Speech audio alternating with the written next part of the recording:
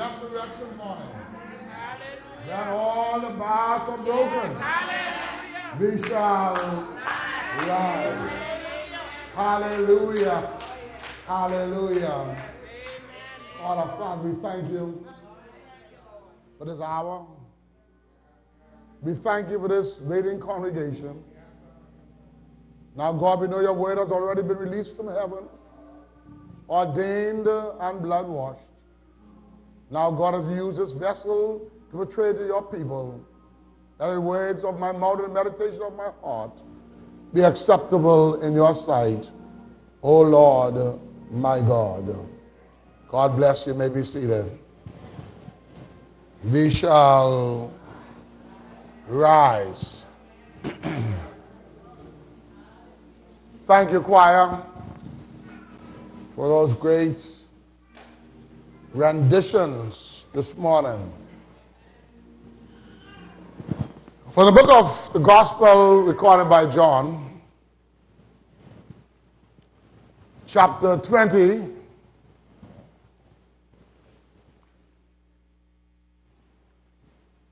John chapter 20, in verse 16, you find uh, these words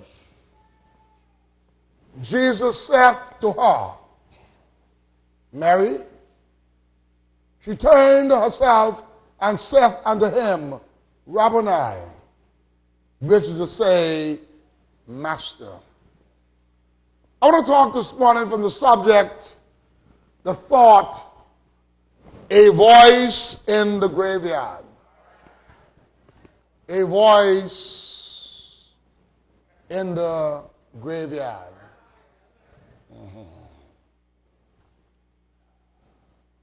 My family of God,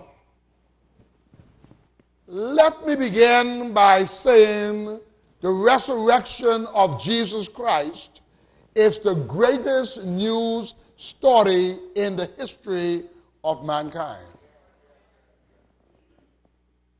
Now, I agree that some would argue that the first landing on the moon by man was a great story.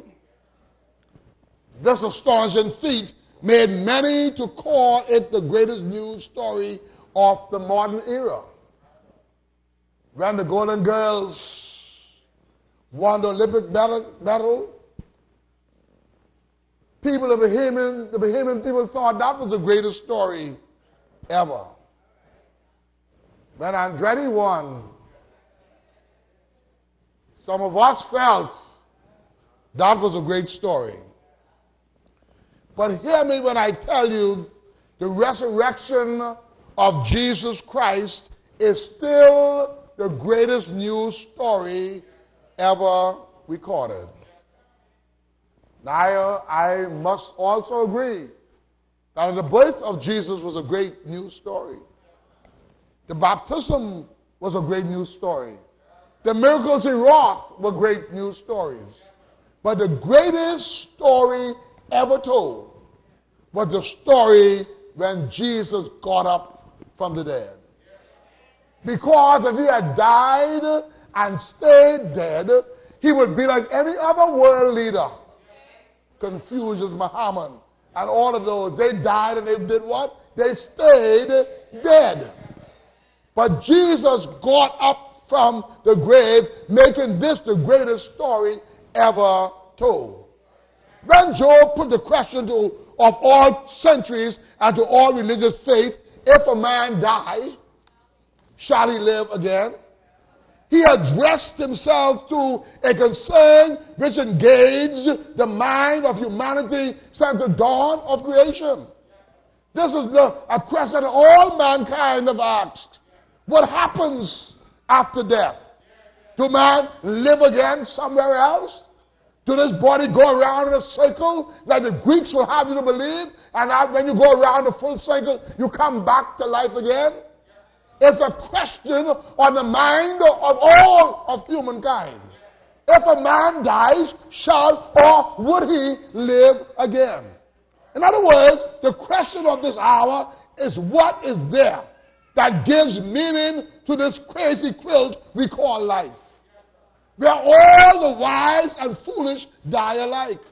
The rich and the poor die alike. The have and the have nots die alike. The educated and the illiterate die alike. What is it to this quilt we call death?